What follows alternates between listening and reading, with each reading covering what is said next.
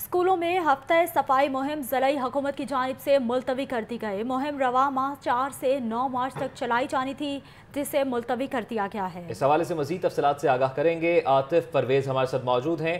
عاطف پرویز آگاہ کیجیے گا۔ ہفتہ صفائی مہم ضلعی حکومت کی جانب سے کیوں ملتوی کی گئی ہے؟